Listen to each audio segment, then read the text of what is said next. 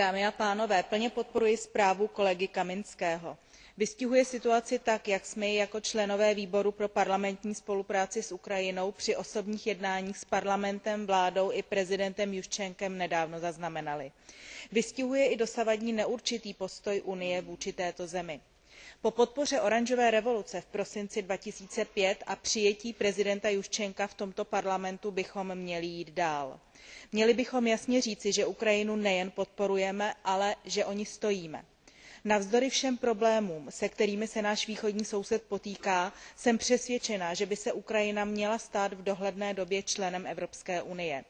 Má nejen silné historické, kulturní a ekonomické vazby s členskými státy, ale také hraje klíčovou roli při zajištění energetické bezpečnosti tohoto prostoru.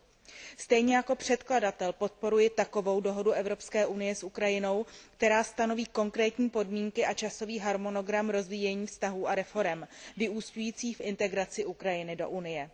Rovněž se přikláním k tomu, abychom zvýšili finanční pomoc Ukrajině a nadále apelovali na důrazné provádění reforem, boj proti korupci a vytváření stabilního, spolehlivého a předvídatelného investičního prostředí doufám že při tomto procesu sehrají zejména roli nové členské země které mají s ukrajinou společnou nejen jazykovou a geografickou blízkost ale i totalitní minulost a reformní přítomnost. děkuji.